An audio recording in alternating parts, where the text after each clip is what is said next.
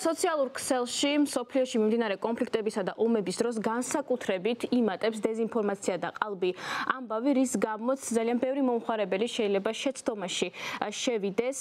ასე მოხდა 7 ოქტომბერს, როდესაც ჰამასი თავს დაესხა ისრაელს.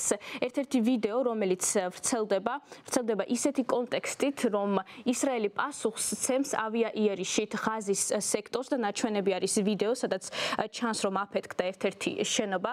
იმის დროს რომ ის რომ ისრაელმა დაიწყო საფასხო შეტევები ღაზის სექტორზე არის სიმართლე, თუმცა ზოგიერთი ვიდეო და ფოტო რომელიც ამის დასამტკიცებლად ვრცელდება, არ არის მიმდინარე ამბავი, როგორც ხედავთ სოციალურ ქსელ ტვიტერზე, რომელსაც ამჟამად X-ი ეწოდება, მონიშნულია ეს ამბავი როგორც კონტექსტის გარეშე გავრცელებული ცნობა, რადგან სიამდვილეში ეს ვიდეო გავრცელდა მიმდინარე წლის მაისში, როდესაც ისრაელმა განახორციელა ავია თავდასხმა ღაზის სექტორის კონკრეტულ ობიექტზე.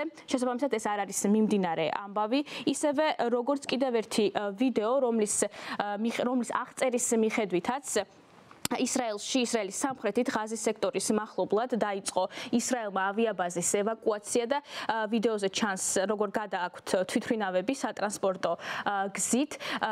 ეს ვიდეო ეს გავრცელდა ასეთი კონტექსტის თუმცა ვიდეო ასევე არის ძველი დაახლოებით ორი კვირის წინანდელი რადგან თუ საძიებო სისტემაში ჩავაგდებთ ავტვირთავთ ამ ვიდეოს და ვინახავთ რომ 15 სექტემბერს გამოქვეყნდა პირველად ეს ვიდეო შესაძლოა შესაბამისად რა იყო კონტექსტი და ზუსტად კონკრეტულად როდის მოხდა ეს ამბავი? ამჟამად არის უცნობი თუმცა ფაქტი არის ის რომ ეს კონკრეტული ვიდეო მინიმუმ 15 სექტემბერს უკვე არსებობდა ინტერნეტში. გარდა ამისა კიდევ ერთი ვიდეო რომელზეც ჩანან პარაშუტისტები ინფორმაცია გავრცელდა ისე თითქოს რომ ჰამასის სამხედროები დაეშნენ ისრაელის ტერიტორიაზე და თუმცა როგორც ხედავთ ეს ამბავი ასევე მონიშნული არის როგორც დეზინფორმაცია Twitter-ზე, რადგან სინამდვილეში ვიდეო გადაღებული არის ეგვიპტეში. არაერთმა ფაქტების გადამოწმებელმა იპოვა ეს ვიდეო, რომელიც მანამდე გამოქვეყნებულა ინტერნეტში, გარდა ამისა თუ დავაკვირდებით შენობას არაბულ ენაზე, მასზე წერია რომ ეს არის ეგვიპტის სამხედრო აკადემია, ხოლო პარაშუტისტები არიან სამხედროები, რომლებიც ვარჯიშს გადიან, შესაბამისად ეს არ არიან ჰამასის მებრძოლები, რომლებიც პარაშუტის საშუალებით დაეშნენ ისრაელის ტერიტორიაზე. როგორც უკვე გითხარით, სოციალურ ქსელებში, Twitter-სა და Facebook-ზე მომატებული არის დეзинფორმაცია და ყალბი ამბავი, ან манипуляция, რომელიც ვრცელდება.